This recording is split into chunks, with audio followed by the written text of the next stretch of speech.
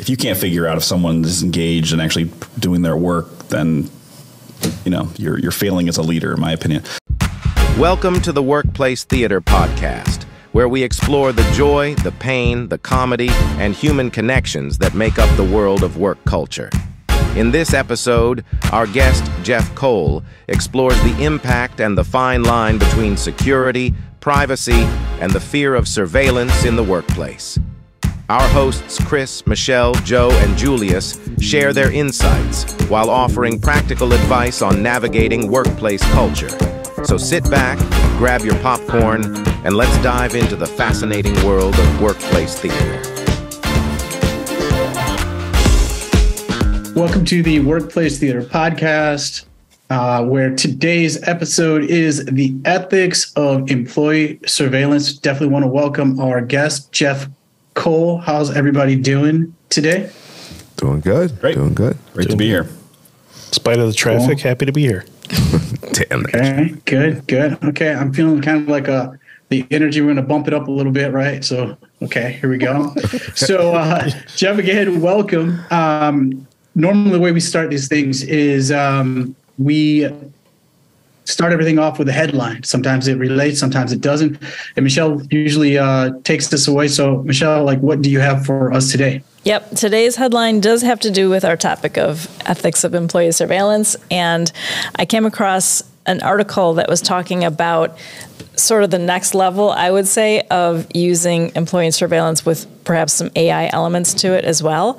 And that was um, that Zoom has developed a technology that can be used, they haven't rolled it out, but can be used to help determine whether people who are on a Zoom call are paying attention.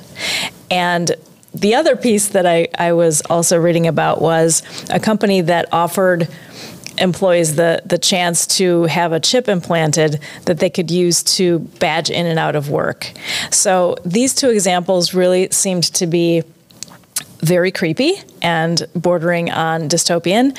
And even even if these aren't widely used now the fact that they're out there we just know it's going to be probably a thing unless something something big happens to, to stop it or regulate it. Um, but i just thought it might be a good topic to kick us off in this in this topic of uh, employee surveillance even though it isn't quite as widespread.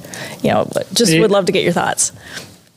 Well, I, I think first of all, the first thing I think about is gaming the system. How do you game that system? You know, as an employee, you're always thinking like, "Oh, they're rolling this out," and the question is, are they letting you know? I'm, I'd imagine that they'd have to let you know if. Well, maybe they don't have to let you know. Right. All of a sudden you're in a meeting. He's like, Chris, can I see you? yeah, we noticed that you're really not engaged. And you're like, no, I've been completely engaged. Not really. Um, and then all of a sudden they exactly. a year later you get promoted and, and you're like, oh, that's what that meeting was about. That's how you knew it, you know?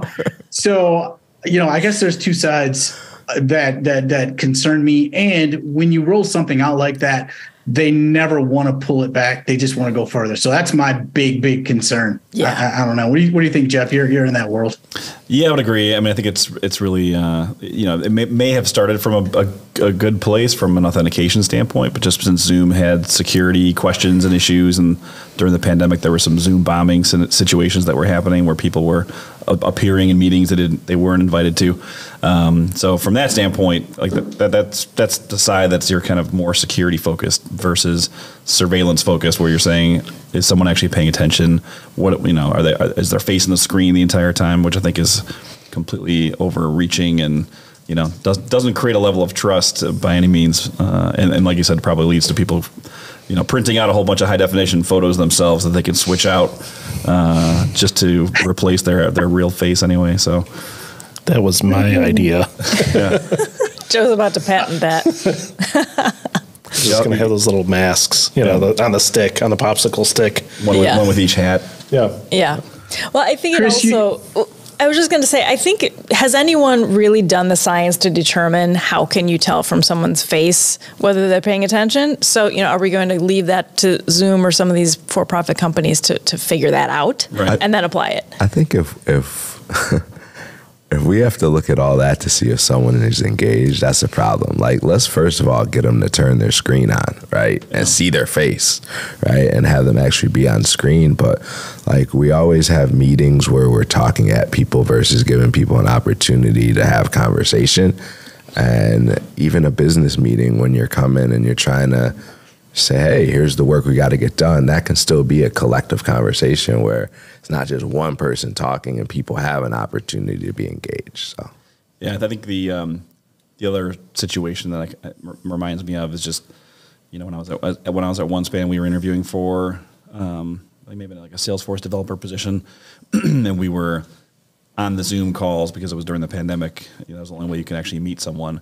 You could tell there was a delay between when you actually asked a question and when the, you got the response back. So it was clear that someone was feeding someone that those answers and at, at a certain point, people were, you know, kind of just being pawns to get jobs that somebody else was actually going to be performing multiple jobs, you know, under the, this other person's name.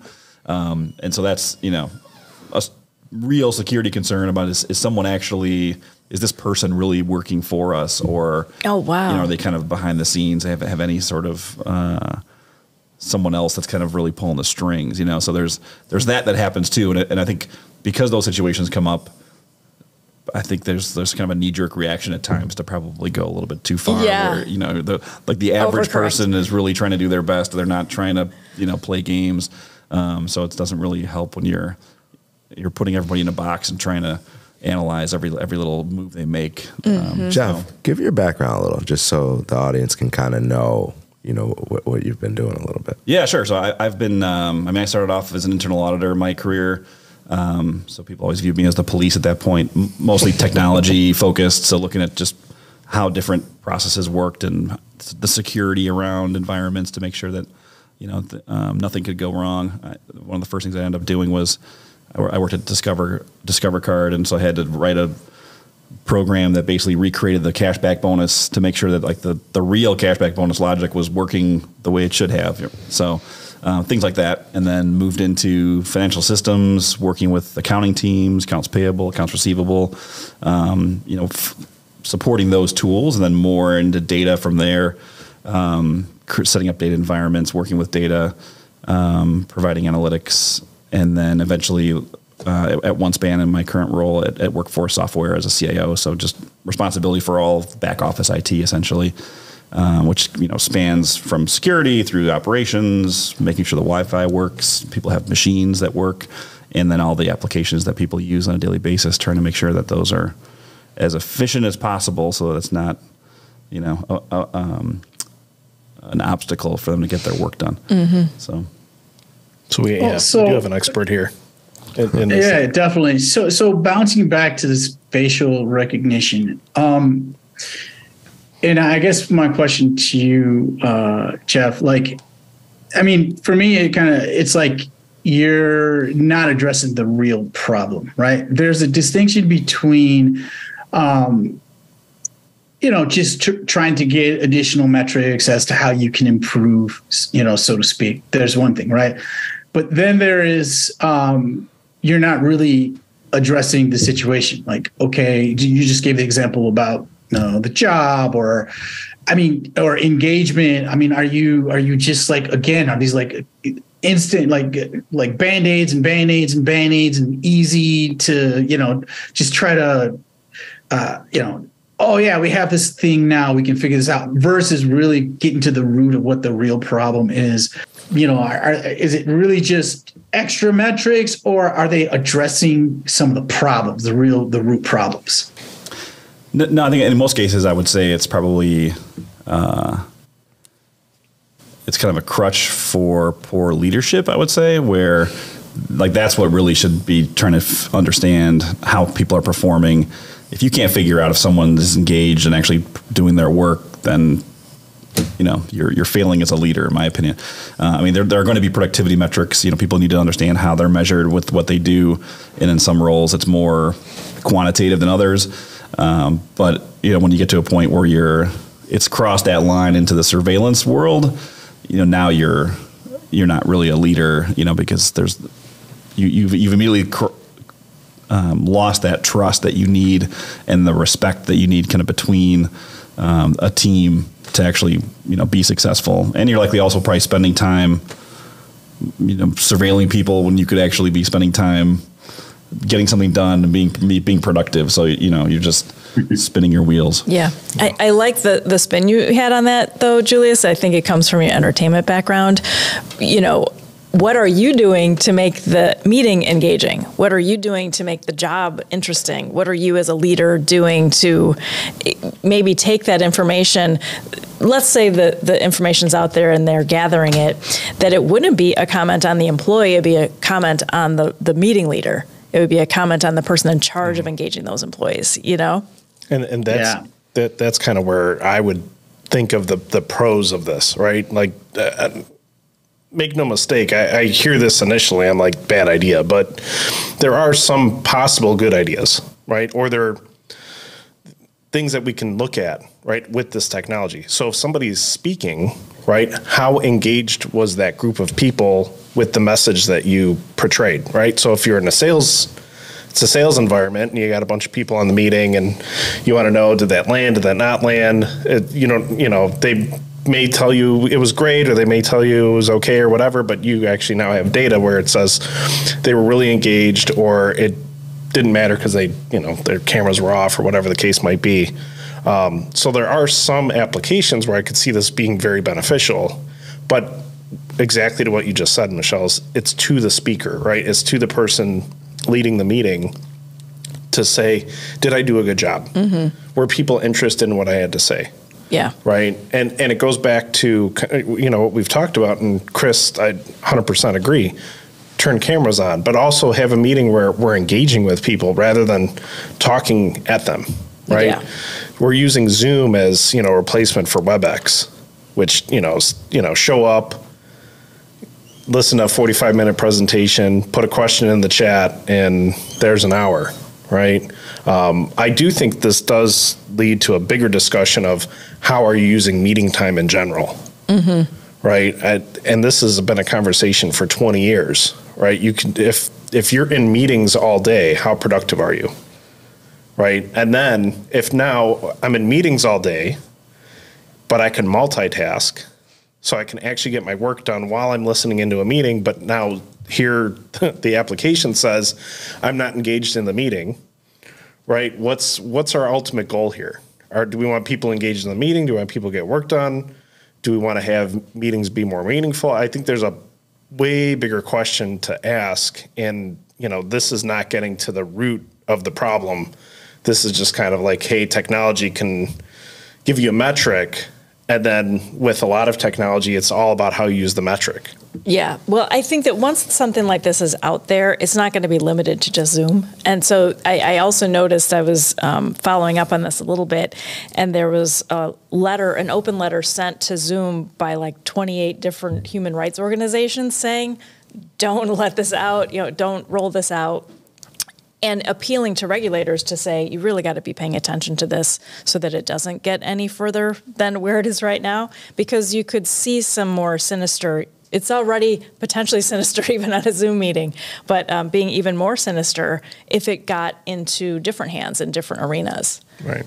You know? Yeah i'm not no, i totally agree. I mean and hopefully you know the business community recognizes that this is not a uh, a, a valuable thing to implement and it'll just die in the vine as a result because if there's no market for it, then you know they're not going to not going to put it out there. But it's just it's just more as we kind of push toward like you like you mentioned, Michelle, like the dystopian society of people being surveilled everywhere. There's cameras everywhere, and yeah. people recorded everywhere, and um, you know in some cases when there's crime that happens, great. You know, we were able to catch something on camera that we didn't weren't able to previously catch. But you know, in other cases, there's a whole lot of th- like innocent things that happen that just you're you know it'd be way better not to be constantly monitored and tracked. Absolutely. And I think it creates yeah. a, a whole different thought in people's minds yeah. these days around what's happening and, and you know how much space they actually have mm-hmm. to make mistakes. You know mm-hmm. because depending on the situation, you know, you may be suddenly it's on it's recorded somewhere and it's on video somewhere and it's there forever. Even though now it's on it's on the internet somewhere and it's, Yes. it's there for the, your entire life. I can't even imagine that. Um, you know, growing up, not having to worry about that, all the mistakes I made. You know, if they were captured on video and posted, you know, I wouldn't be sitting here right now. I'll tell you that. Yeah. Yeah, I think uh, probably one of the the the, the points that which you said earlier, Jeff. It's like if you're actually uh, you know spending time like just looking at people, you know what I'm saying? You could have been doing something else, right? It, it just you know, I don't know. I think where does this stuff end? It doesn't end, right? And then all it takes is just like you said, Joe. Oh, you know, there are a couple of you know good ways that you could use this, or or if there was uh, some situation happened, someone freaks out in a meeting. Oh, you know what? If we would have been able to see his uh, you know facial recognition, possibly he wouldn't have exploded. you know what I'm saying? It's just like you can find any reason. It's like no, cut it off. That's it. Next. You know, get that out of here. Period.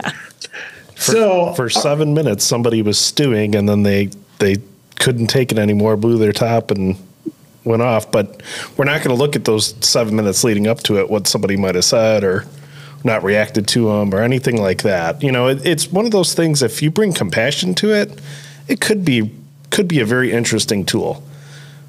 I, I think we're all skeptical of it, though. Um, Yeah. Yeah.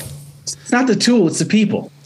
That's the problem. Exactly. It's not the tool. For every, you know, empathetic, compassionate, you know, what do you think about if like just think about the workforce? What do you think about the people who are compassionate and empathetic and that's all nice and right, but work's got to get done, right? And who are those guys? Those are the guys that Those, that's yeah, the that's problem. that's who's going to use it because the ones that are compassionate and apathetic are we're already we already have our cameras on. We've already figured out different ways to engage this this technology and this medium so that we can be connected. We can make sure that we're you know have the highest probability of engagement.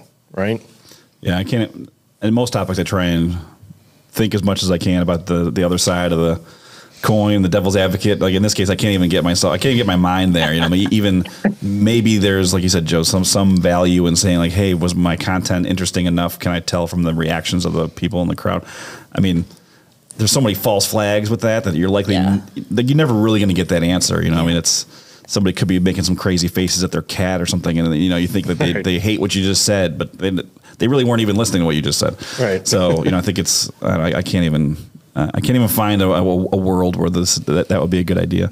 Or or your camera's facing you know one direction and the main screen you use is is up somewhere else, so you're not even looking at your camera, so it can't even engage the technology. Or or you're out somewhere in public and you're wearing a mask, you know, because that might be a thing again. Um, Right. right. It there's so many flaws. Yeah. Well, that rolls us right into our uh, the next segment, which is called the burning question. Is employee surveillance a necessary evil for improving productivity? And if so, can it be achieved without compromising employee privacy? I would say I would say no. Uh, so I think there's there's clearly a difference between surveillance and productivity monitoring. Those two things are mutually exclusive in my mind. So I think you know it's if an employee feels like they're being surveilled, they're likely not contributing as much as they can contribute. They're likely not giving their best effort anyway, because again, you, you don't have that trust factor with with the employee. So I mean, there's there's always things that you're going to monitor when you're uh, you know a role like a help desk position, let's say, where you know tickets come in and you need to see how many tickets are you handling on a um, weekly, monthly basis, whatever it might be. Part of that is to see not just are you working, but understand how much um, how much work there is, right? So if, if if you reach a point where there's a you know the team is maxed out on how much they can actually manage, there's a good argument to be made there of adding some resources to the team, um, or maybe you know there's not enough work for for the team that's there. And you need to think about like what do you do? Can you re uh, reallocate people to something else? But you know once you reach the point of surveillance, and that's again kind of the line between security and surveillance you know like where you can you want to get right up to that line as far as from a security perspective because there's things you definitely need to monitor more from a company standpoint where you need to make sure that data is secure, access to your environment is secure. You know, you're trying to protect everyone from the bad guys. Um, but when you, you know, reach a point where you're actually surveilling employees, you've you've gone too far, and you've broken you've broken that trust, and you're you're not actually going to get the the most from those employees. Well, let me ask you this: Would you consider um, a time card a measure of surveillance? in some senses, yes. I think, uh, which ironically, that's partly what what Workforce Software delivers. The company I work for is, you know, tracking time, like punching in, punching out, a whole bunch of different ways to do that to understand, um, you know, w- when people are working. I think a lot of that also comes from um, compliance and regulatory issues that are set by you know different agencies in different countries where you have to track time in a certain way and you have to report the pay in a certain way. So companies are essentially, you know, their their hands are kind of tied to some degree where you like you just have to track it that way. That's just the way it, it goes. You you have to make sure no one works, you know, more than they they should. There's a, break between the different shifts that you work, all those kind of things. So again, I think I think where a lot of these things always start is like from a good place. You're trying to just make sure you're complying with these regulations. The regulations are there to make sure the employees are safe and they're not being overworked. And then all of a sudden, you start creeping into a world where you're using it for some you know purposes that are it's not really healthy for like the, the employee or the or the um, or the company itself. And that's where I think you start getting into the you know, starts feeling like surveillance as opposed to just hey, we have to do this to make sure we comply with regula- regulations. A step So further. Michelle, Just one more. ahead. What about quarterly reviews? I mean, I love quarterly reviews myself. Um, I think they're one of the most impactful ways to try and make sure that you're gi- like giving feedback to people on the team. I like to have the goals set on a quarterly basis, so you don't have, you know, the recency bias of an annual annual goal when someone really like kills it in the last quarter, and you're like, hey, you had a great year. Like, well, may, maybe not because the first and second quarter you were just kind of stumbling around doing nothing. But I forgot about it because it, that was six, seven, eight months ago. Where if you do it quarterly, you can actually kind of make sure people are um, you know, getting feedback on the work that they just most recently did, and, and you can also make sure that the goals are set properly because things are you, they're changing so frequently that if you set you can't set goals for a year typically and expect those to be, you know, the goals that are actually most important by the you know the, January first.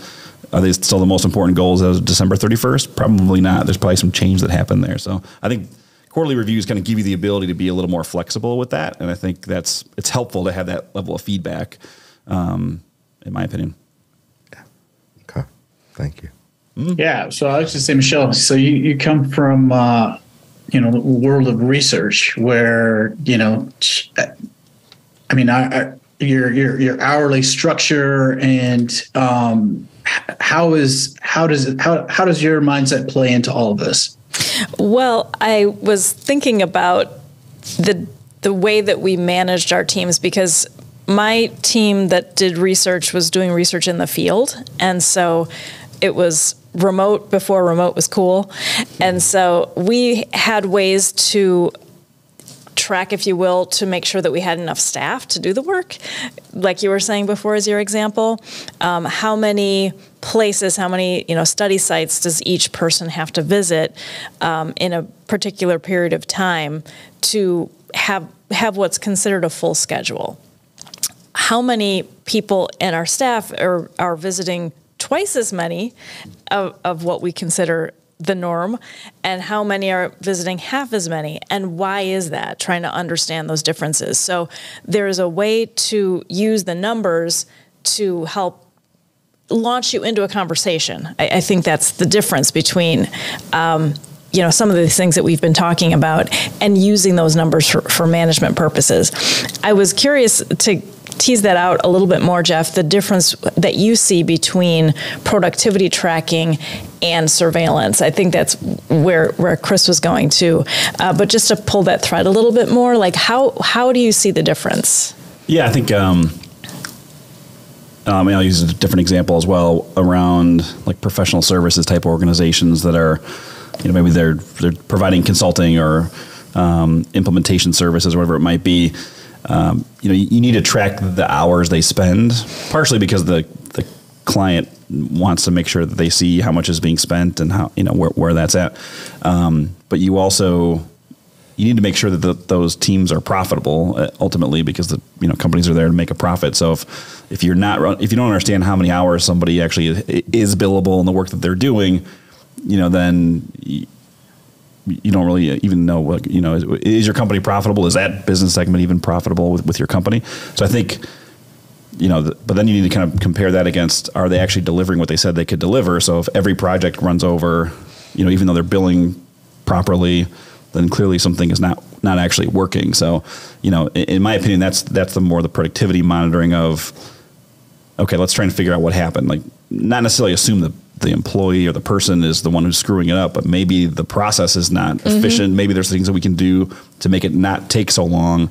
You know, try and tighten up some of the time frames. Um, again, not to make people be so stressed out that they, Yeah. you know, they're working until they uh, their you know fingernails are bleeding. But you know, trying to just um, help any way you can. And if you, and if you don't have that perspective, it, it's it's hard. You you have to kind of just thumb in the air. You know, does it feel like we're effective? I think so. You know, but maybe not. Like you don't really know until you kind of have some of that data. So, you know, I think. Um, um, like again, that, that's where I think from a productivity standpoint, there it's the positive approach. When you start suddenly going across the line and you're, you know, um, attacking someone for some 30 minute period that you thought they could have been more productive or something like that. You know, mm-hmm. now it's you're just kind of you've, you've lost like the forest for the trees sort of mm-hmm. situation at that point where I think mm-hmm. you're you're so in the weeds that like that's not you know if if the overall objective was accomplished, who cares how that 30 minute time frame was spent you know they could have been getting coffee or Yeah. what, whatever you know because um, they actually were able to get their their work done in the, the other other amount of time because people are people can actually you know they work in different at different paces, different Yes. speeds, a different experience. I mean, some someone can actually get something accomplished in a significantly shorter amount of time than someone else.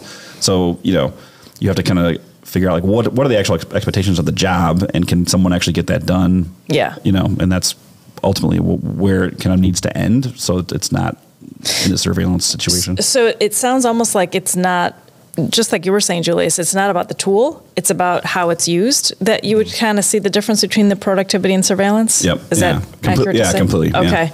All right.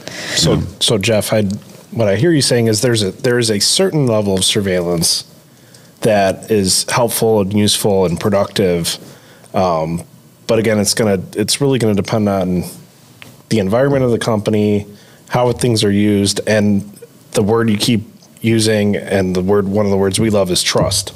Yeah. Right? If if it comprom- it sounds like you're saying if it's going to compromise trust, it's not going to be productive. Exactly. All right. Right. I mean, just even using an, like a non-business example um, for like productivity. You know, Chris and I play baseball together. Um, if no one's keeping track of any sort of stats at some point, all you have is what you can remember what someone may have done at the you know uh, uh, at the plate, how, how they were hitting. You have no idea. I mean, the, but the team ultimately wants to win. The team wants to have the best people on the field at, at one time. If, if, if, if the team recognizes there's one person who is dropping the ball and there's a weak link in that chain and nothing is being done to try and address that, you're bringing the whole rest of the, the team down. So if there's not an, an objective way, because you also don't want to make that feel like a personal, you know, attack on that person. Like, hey, we don't like you. We're going to pull you off the field, whatever it might be. But if there's an objective way to say, like, look, you're just not producing. You know, we're trying to give you an opportunity. It's not happening. We're going to give someone else a chance here to step in. Like then there's a level of respect, and people feel like they're, you know, people actually they want accountability. I've, I found, and, and, and just know that everybody's like kind of above board. Everyone understands what, what's being measured and how the team knows that they're actually they're they're being effective. You know, in in in baseball, it's wins. Like, are you winning the games? Okay, if you are, great. Then it's it's working. Um, but you know, maybe not. uh, I guess that's not even necessarily the case either at, at times. But um, Well, and then you kind of take that to eleven with like Moneyball. Right. So, so then, then it becomes a it becomes a business of we're in the business of winning for the cheapest amount of money, Right. And so we treat people as these interchangeable pawns that we rotate in and out. So in a in a game, I'm assuming you guys haven't made minor leagues yet. Uh, that's sort of like for, for fun. um, you know, it, it, it you even see it creeping in there. You know, like Oh yeah. So it's, yeah, I mean, and Moneyball is a great example where you know the the data actually gave them a, a head, a step ahead of the, the rest of the teams, but it never actually, they never actually won, right? Right, So yeah. they got pretty close. You know, they were able to actually leverage that data to get to that point. But in, in, in the end, there were there were intangible things that they likely could not measure that had other teams be able to beat them to the to the championship. So it, it wasn't, you know, it can get you pretty far, but it can't be the only thing that you you can use to But su- do, succeed. do you feel like that was sort of more like a beta VHS thing, where the other teams who had more resources took that same concept, even though they pi- you know they piloted it and sort of became the VHS, and it's now widespread and sort of amped up a bit. I mean, to some to some degree, yes, but I also think like that's the, you know, in my opinion, as being a baseball lover, it's kind of like the mystery of that of the game is like Yeah. the, you can't just look at at the numbers. You, you can geek out all day about numbers if you want to, but at some point, you know, just just putting the people with the right numbers in the right position doesn't really tell the whole story. It, Yeah. it can get you most of the way there in a lot of mm-hmm. cases, but there are other factors that you know hard to kind of put your finger on. That there needs to be some human element, you know, some sort of strategy, chess work, whatever it is. You know, like the mindset of the t- people The, on the team. the, the Ted Lasso factor. Exactly Yes. right, right. yeah, for Well, sure. then, yeah, the you know, chemistry and Yeah. yeah. And, you know other bonds and I- other things. Yeah, Yeah, I think though, um, you know, the problem is like even if you, it's you know, it's widely adapted though, like numbers, right? Um, in baseball, like every, you know, one of my friends is, that's what he does, right? And every team they want to know is get as much data as as possible. So bouncing it back to kind of the surveillance, and and I was thinking about as you were speaking, Michelle, um, you know. My problem is they never want to roll the stuff back. So Yes. then it starts there and then the next thing you know like okay so you have your researchers out there and so now they're pulling uh, uh, surveillance streams to see if they're you know like oh i have access to so and so we have these uh relate or these partnerships with these different companies surveillance companies and so now you're pulling the feed from this area this area this area and now you're dipping into these uh, yeah so it's like you you no you're reading my mind because what I was thinking about was that exact piece. So with the example that I gave, you know, how frequently are you visiting the study site? It used to be up to the employee to determine, you know, this is a study site that has an inexperienced staff. They have a ton of patients. Um, I, they have a lot of violations. I really need to handhold there a bit more and visit there more frequently. And I can explain that to my manager, and they'll they know the business, they are supportive of that approach. But now that this has been sort of, you know, dataized a little bit more, I'm sure that's not the right term, they have taken the, the, um, onus away from the employee and now there is an algorithm that spits out how frequently you may attend this the site visit. So and you have you could potentially go you know get more frequent uh, visits approved but you have to you know present your logic and it's just not even worth it half the time.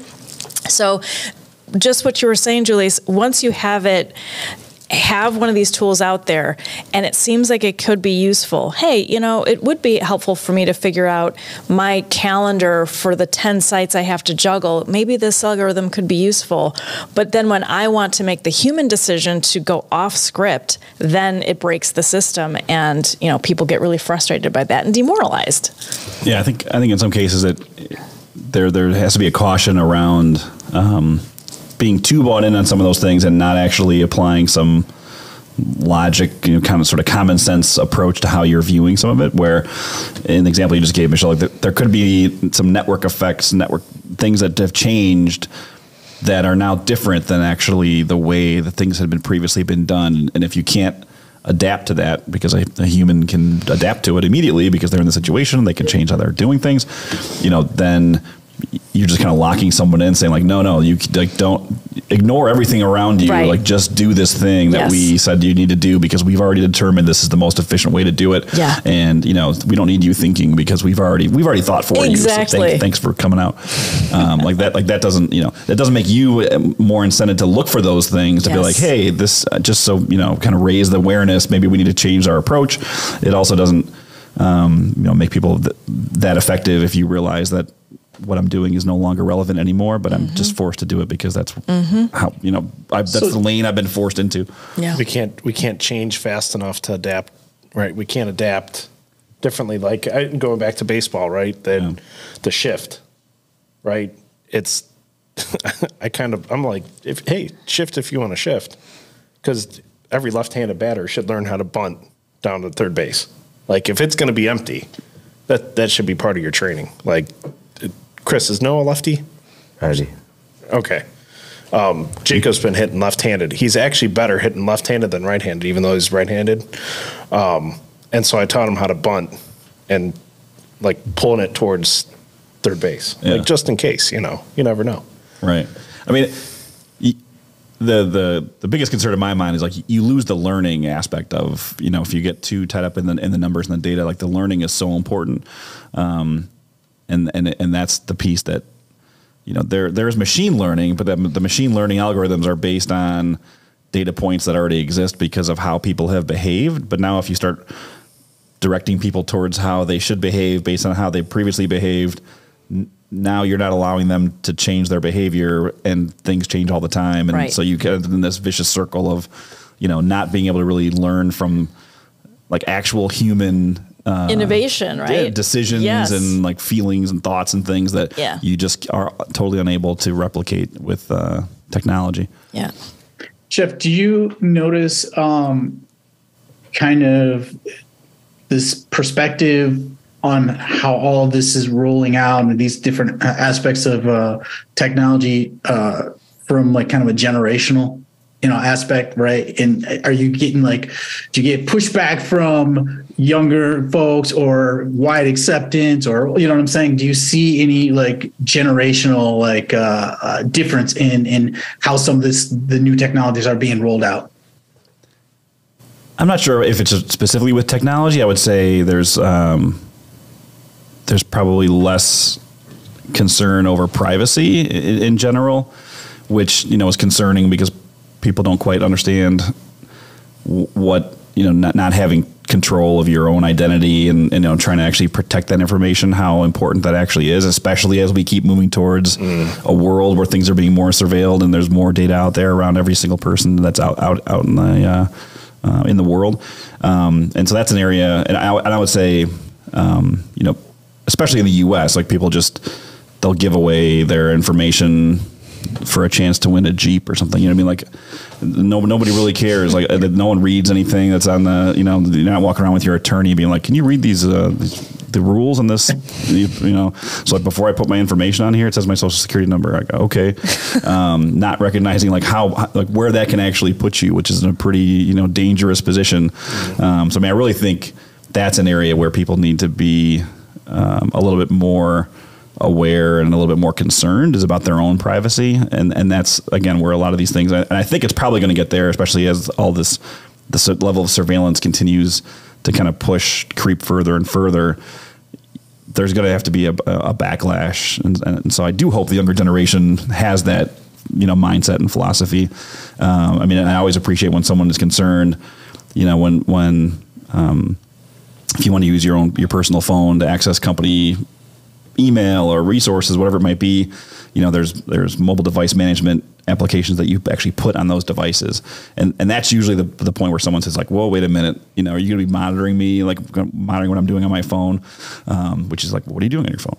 But um, uh, but that but that's actually. uh, I'm I'm happy to ha- have those conversations with people because it's at least I know that there there's some level of concern about their you know their own privacy, and uh, there again is a challenge between security and surveillance where you're saying like well we need to have this on, on your device so that if your device gets stolen no one can get into our corporate information. They can't actually access our resources.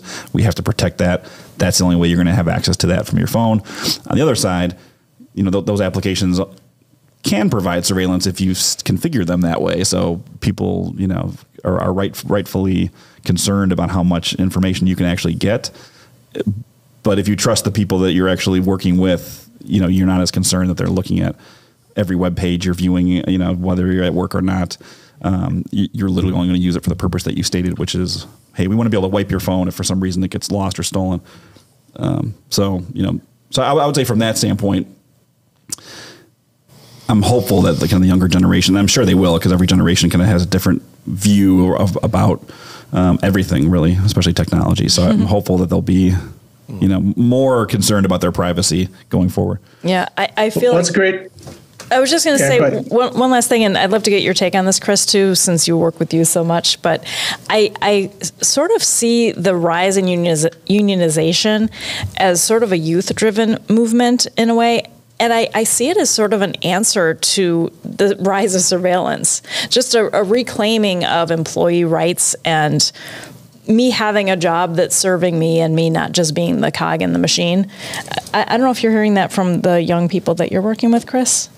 I think that's part of it. The other part of it is the pandemic and people, you know, leaving their jobs and getting fired from their jobs and really I think trying to redefine like what they're going to stand for, what they're going to do in their life and what they're going to tolerate and not tolerate. Um, and the fact that people got to stay at home and be more efficient, I think allowed people's rights to open up a little bit more, especially you know the younger generation because they didn't even get into the workforce yet, and they're like, "Shit, I don't need to go to work to make money.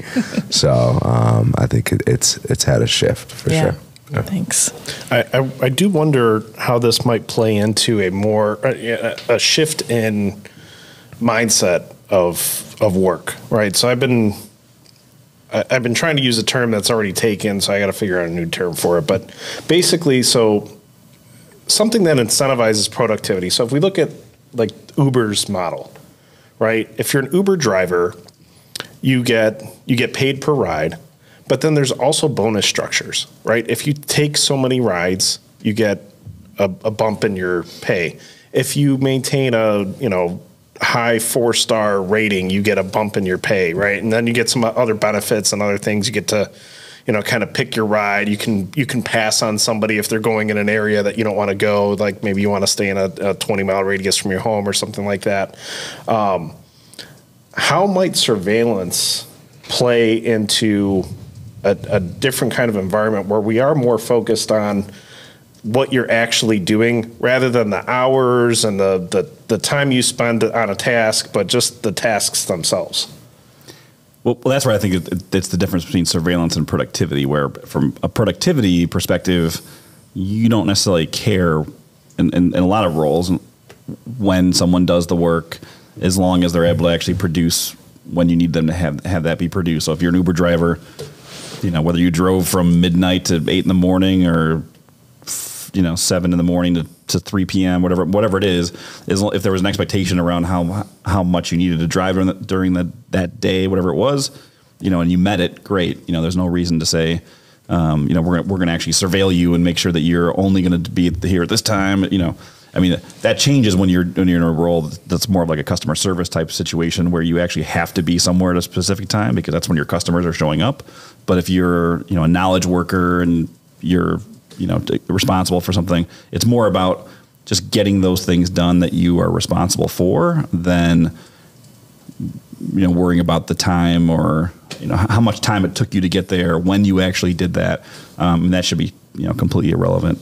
Yeah, so there's the there might be a way then where you know maybe somebody does have more than one job. We've been we kind of alluded to that earlier, and I Oh, yeah. can't remember if it was during our our downtime or I mean, it, and it, it happens a lot now where I think there's, you know, people are, you know, two, three jobs. Someone can, you know, like I said, someone is, uh, some people are just more highly productive than others. You know, you can get an eight hour, what's expected of so- of someone else in an eight hour day, you can get that done in three hours. Well, maybe grab another job or, you know, people have worked multiple jobs forever, right? So it's not like mm-hmm. this, it's, that's, that's a new thing necessarily. It's just people haven't necessarily worked multiple corporate jobs you know, at the same, in, at the, in the same time. yeah the same time period, right? Right, but- From nine to five, I have two different jobs. Exactly, but you know, like Chris just said, now with, with the pandemic and the, and the realization that working remotely is is fine as long as you're able to produce.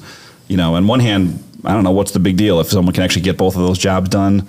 You know, more power to you. You can you can do two jobs at once. You know, just like you can go, whatever, drive a you can drive a bus during the day and then go work at a store at night. I mean, that's, those are two different jobs. No one ever has held that against anybody. So, um, as long as it's you know, as long as you're able to, to deliver what you're expected to deliver, it shouldn't really matter that much.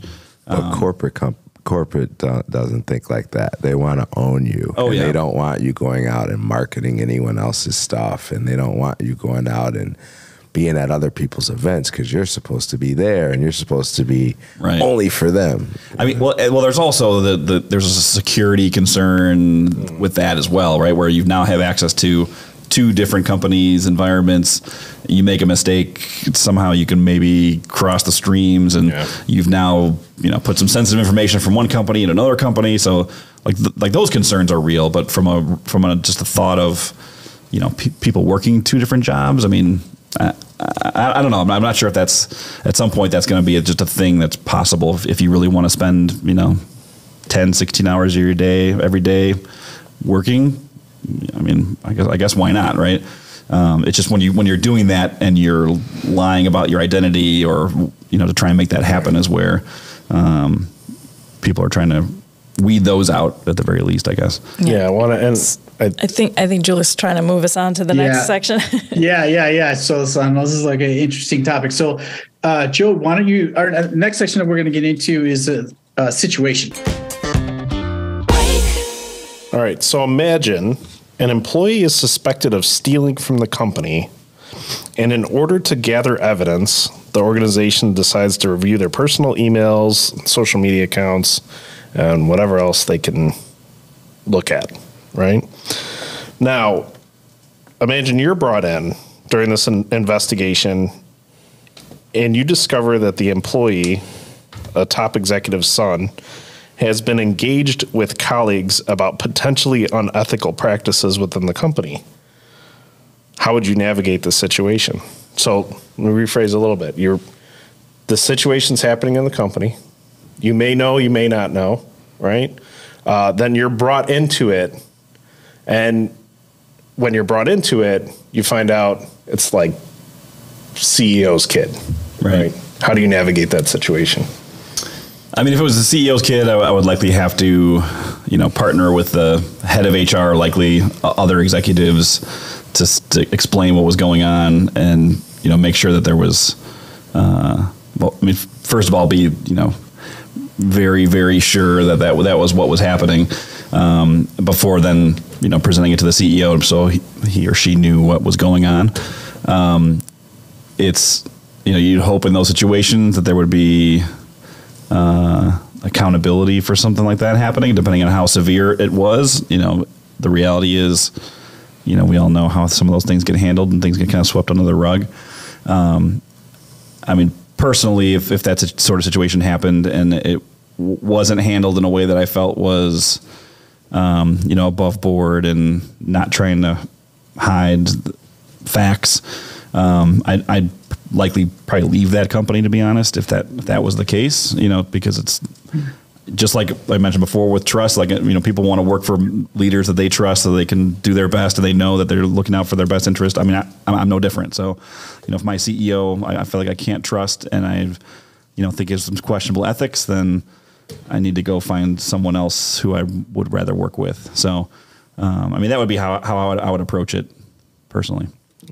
Michelle? Michelle, yeah, I was like, yeah, Thank you, being Jeff. in the, Yeah. uh, yeah, I know you're in the research and the pharmaceutical, but you know, it's a hot topic these days. I'm just uh, wondering, like, what's what's going through your mind? Yeah, I mean, all the legal aspects immediately came to mind. So just what you're saying about partnering with HR, um, and and what you said, I was thinking about. Um, your reputation also is sort of tainted by however the ha- company decides to handle that. Oh, completely. So you know your decision. You're in this hypothetical situation. Um, your decision to move elsewhere. People know you and know that you kind of the company you're at is a representation of you. So they they'll know whenever they want they are going to work for you that you are representing someone highly ethical and has there's like a level of trust there for your brand by by leaving that situation if it wasn't handled the way that would make sense to handle. Yeah, completely. I mean, it, and overall, you know, if a leadership team is not working in lockstep, people pick up on that really quick, and, and they recognize when there's division and some backstabbing and some some political things that may be happening, and it just leads to, you know, just general um, like distrust throughout the organization. I mean, it's no different than your parents, right? Like, so if you ask your parents something and like you recognize like one's going to say yes, one's going to say no, you know, you know how to play that game to figure out what you need to, you know, who you need to ask at what point, what time.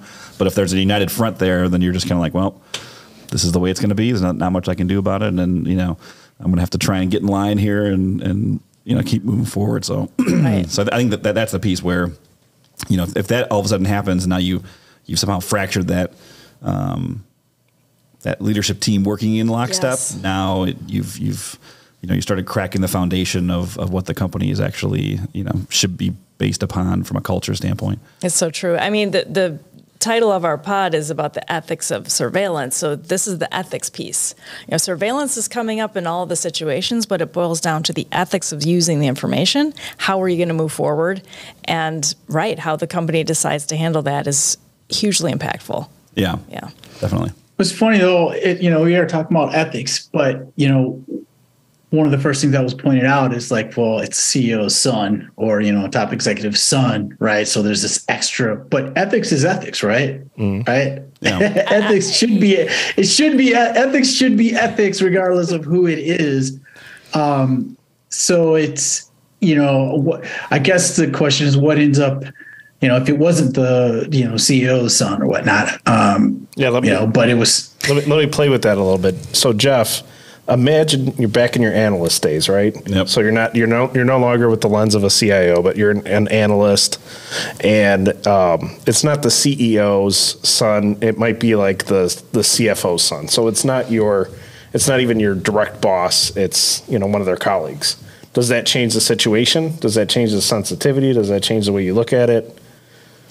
I mean, it probably changes how quickly I could move on from a, a, the, the position, right? So, I mean, there's there's ethics where you can say like, hey, here's my position, here's what I think I agree and disagree with. Um, there's also the real life situation of, okay, I need a paycheck, you know, I need I need to be able to support my family, and I may not be able to just walk out the door making some grand statement uh, like immediately, right? Like, but but I would assume in that case, I'd probably start looking elsewhere if I felt like there was, you know, the leadership in a, in a particular organization were just not aligned with my own ethics. Um, and, and in, some cases, maybe it's literally just a different department within the same organ, organization. That that's possible too. Or I would say, you know, maybe it's time for me to move completely somewhere else where I feel, you know, a little bit more aligned with the ethics um, of the leadership. Yeah, but could you could you be the person? So let's say that let's say their ethics are in line with your ethics, right? Could you be the person that says, yes, the so the CFO's son was doing something nefarious, right? Here's the evidence. The company decides to terminate that employee or or however that relationship is, um, and maybe even the the the CFO moves on um, just because of the situation. Maybe it's embarrassing or whatever the case might be. Yeah. Would you be okay with with staying at that organization? Do you think there'd be any anything else that you'd have to navigate inside of that? No, I mean, I think the way you laid that out, if that actually happened, I would be even more closely aligned, I think, with the organization to say, hey, look, they actually made the right decision here. They recognize what happened, and you know, they they, they made the right decision. So um, it, it it would almost you know bolster my confidence in working for that sort of a company that that was how they would treat that situation and not try and you know put it put someone in the corner, not try and hide it under cover somewhere. You know, be hopefully open and transparent about what happened so that you know it would prevent someone else from thinking about doing the same thing. Yeah. So you'd you'd, you'd be okay with being the policeman again? Yeah, in the end, I I don't, I don't, I don't, I don't mind it necessarily. It's, uh, you know, I try, I try, to be, my, I think of myself more as a consultant than a policeman, but you know, sometimes you cross the line there too, where you're a little more policey than you are consulty. It sounds like uh, you know there's the ethics and then there's the politics of the situation, right? That kind of rolls into Oh yeah. you know. So uh, okay, so great. So um, so rolling right through. So let's go on to this next uh, segment, and this next segment is called workplace stories. This is generally can be something lighthearted, can be something relevant. Um, but uh, Chris, go ahead and read us to uh, this this week's uh, uh, workplace story. So, in a prestigious marketing agency, Sarah, a talented graphic designer, found herself caught in a web of suspicion. The company had uh, implemented an employee surveillance system to monitor productivity and protect intellectual property. One day, Sarah's manager approached her, expressing concerns about some confidential client information that had been leaked. Despite her innocence, Sarah's personal emails and social media accounts were reviewed as part of the investigation. To everyone's surprise, it was discovered that Sarah had been framed by a disgruntled colleague who had manipulated evidence to tarnish her reputation. The organization took immediate action, clearing Sarah's name, and the true perpetrator was held accountable. This incident sparked a revelation, I'm sorry, a reevaluation of the employee surveillance system and led to stricter protocols for ensuring data integrity and fairness. I mean, there's those the, the ethics. They did the right thing, I guess, huh? Sounds like it worked out for Sarah. Yeah, I was I was totally expecting to hear like what they found was Sarah was was working on three or four different private client things and Sarah was helping her husband with his branding for his company. Now, now where that could go sideways is if while they're doing investigations of, you know, her purse or private accounts, all of a sudden they find something that's totally unrelated and, you know, maybe fire fire Sarah for that, right? Like, like, that would be where you kind of have gone now too far, where you just are um, kind of picking and choosing at what what you're you're pulling from that from that, yeah. that sort of an, an, evaluation or an investigation. Um, like that that would be concerning, but it sounds like at least what the way that was described would be how I hope a company would would tackle something. Mm-hmm. Um, I think too, though there is you know there's another part that's concerning is it's you, you can't take the human out of the human, right? Especially when you start going through people's emails and stuff like that. And even if it's, um, you know, even if it's not something that would be potentially unethical for the company, but something about that person's personality, something personal that you now know about that, like, I, how do you then uh, you know uh, do you are you now treating that person different? Or or now this person knows that you saw this certain things about them how does that dynamic work out within the uh, so there's just a lot wrong with that in general right? Because a lot of times you'll be we, we focus on the well what were they doing wrong you know or you know I, you know I wouldn't have had to look if you know if there was nothing to look for what are you willing to have but wait what about just simple you know your opinions. Good politics right? What if uh i mean we just got out of pandemic right? What if they were railing about vaccines or whatever the case inside of it right? And then all of a sudden you find out about it and do you start treating the person different? How do you hold back? Mm. so there's a lot that's there's an issue with all of that you know? Well and, and the, the story has a happy ending. What if what if at the end of the story it was like oh sorry sarah we sorry that we messed with you because somebody set you up, right? They didn't change anything. They didn't look at anything. It was just like, oh, sorry, or or they just stop investigating, right? That's that's my favorite. Like and and. Uh, most HR people will do this, and they'll they'll even say that they're guilty of it. But you know, just shh. so here's here's an industry secret. Um, when things aren't going when they have to react to something like, "Oh, you were investigated. You're you're you're good now." It, no one will tell her. It'll just it'll just go away. It'll just be swept under the rug, and that's that. And for six months, she'll be like, "What's going on? Nobody's asking me any questions. Am I going to get fired? What's you know right? Like, it, it's like if you're you're going for a job and the job got pulled." Right, HR just stops. Recruiters just stop contacting you. Well, I would say, and just in my HR and recruiting background, I'd say shitty recruiters do that, right. right? And shitty HR people do that. I think when you're looking to create a process to really engage someone, whether they lose or whether they win, there should be some sort of follow up and some sort of communication and just full transparency. And I think we are like trying to get to the numbers, the numbers, the numbers, and we forget like, oh, I'm impacting someone's life. Like if I say no, that could be an impact. And if I say yes, it's an impact. So yeah. how do we make sure the impact is it still creates a connection? I right. think is the important thing, you know? Well, and yeah, and if you're in an HR role, uh, again, what's what's your ethics? What's your um, your mindset about being in this role? If it is to help people, then you should be you, you should be wanting to have those situations, whether it's positive or negative, right? Whether it's like, oh, this is a person who was found to have done something. Okay, great. Now I'm protecting the company. Maybe I can help this person on the way out, right? Or now, okay, we were able to clear your name, right? Why won't they say something? Why won't they say what, what was the gal's name? Sarah. Yeah. Why? Yeah. Why can't you say Not incentivized Sarah? to. You're not just incentivized that. to find bad. We're not necessarily incentivized to find all the good. But if I'm an HR leader and I say, "Sorry, Sarah, we for putting you through this situation," oh, you've now opened the door to a lawsuit because now now the company is admitting fault. So what do they do? Just say nothing because you're better off to say nothing. That is that's horrible engagement. That's horrible engagement because again, here's a person who just has no information, so doesn't know what's going on, and and in, with mental health, like that's a thing.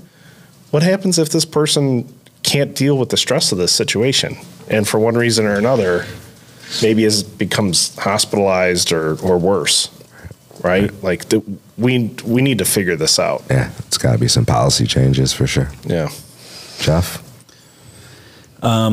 No, I agree. I think what the, what you were just discussing there. I think the uh, the other potential answer of some of those is you know there's that's where technology can be used for good, where there uh, you know data loss prevention tools that you can actually like plug into the applications that you use that house sensitive information to actually know when someone may be like extracting large amounts of, of data, um, which hopefully then ha- can have you be a little more proactive about some of that sort of uh, analysis and, and not get into a situation where you're you know after the fact trying to figure out um, who, who may have done what what do they do with this information how did it get how it may have gotten leaked and now you're you know uh, having to dive into someone's personal information more than than you should so Yeah. Well, I mean, I just imagine, right? Um, Pepsi just did a bit or a big rebranding for uh, what used to be Aunt Jemima, right?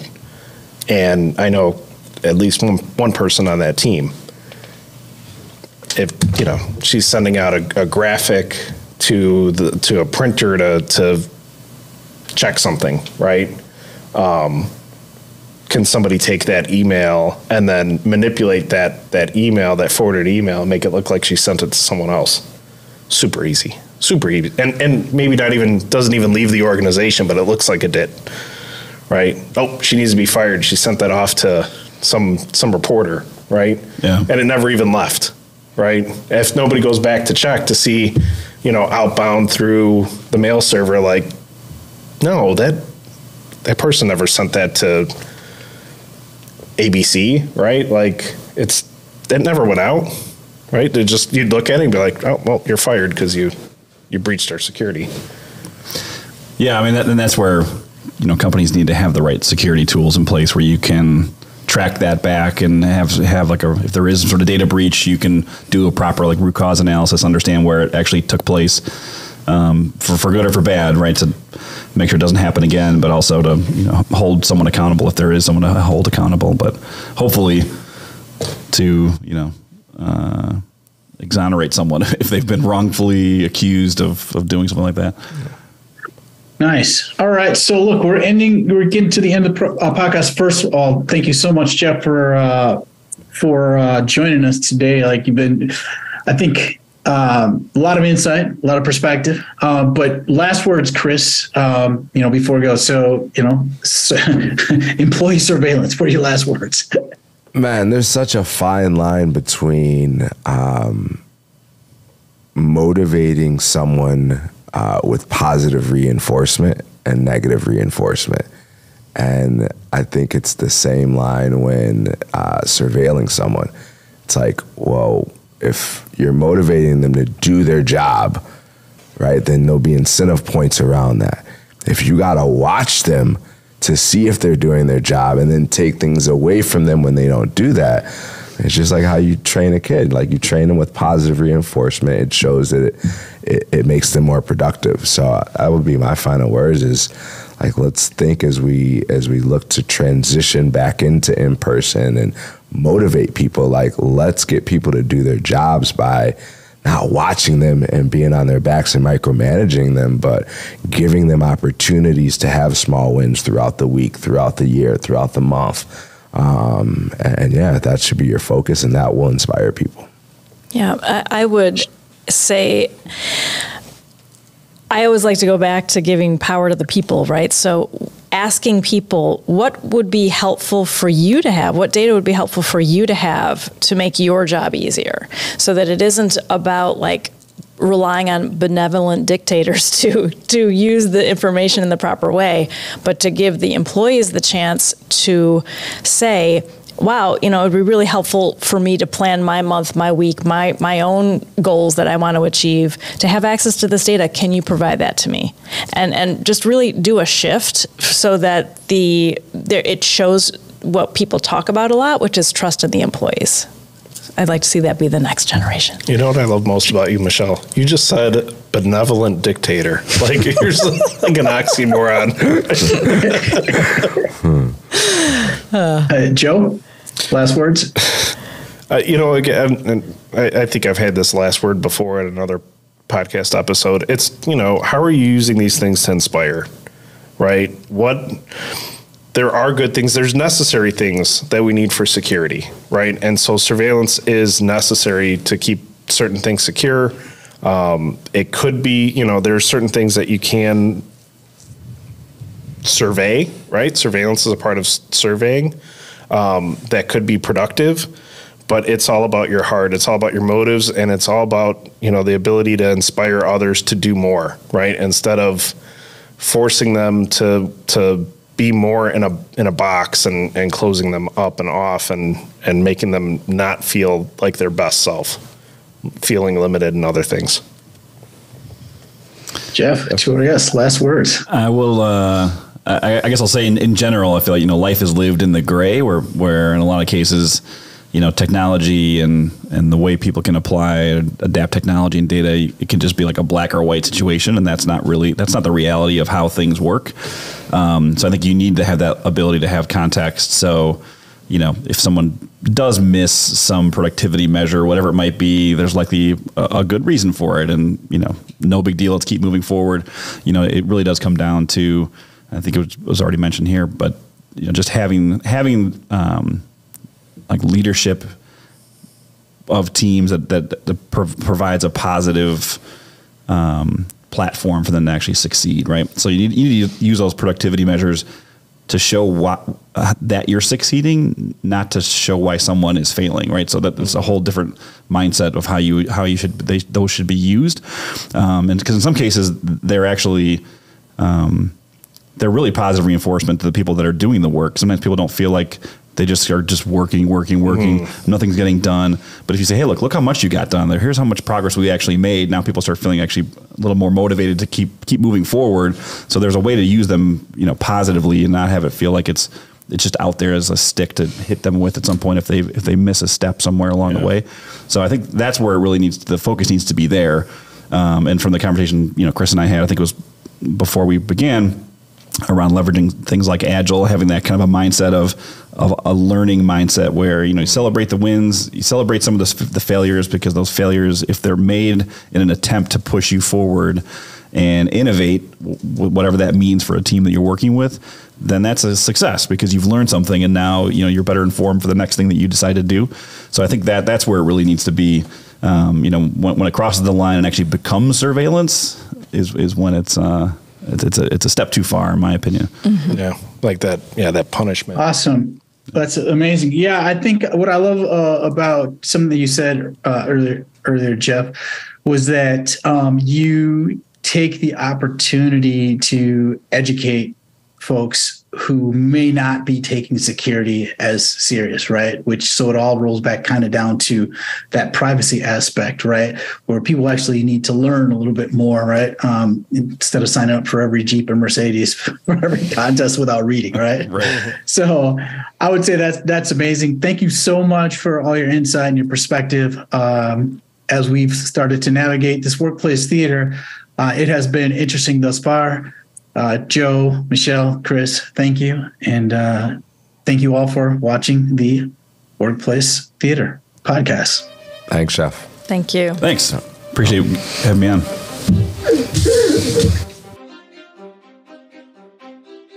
If today's discussion resonated with you, don't miss out.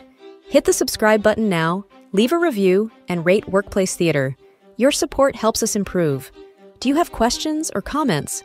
Click the link in our show notes. We'd love to hear from you. Thanks for tuning into the Workplace Theater. We hope you've enjoyed our podcast. If you're interested in new ways to inspire your team, need help with a sticky workplace situation, or you'd like a communication and engagement strategy for an upcoming important objective, please contact us by emailing workplacetheater at gmail.com. This has been a Working Better Together experience, a division of Exponential Consulting LLC,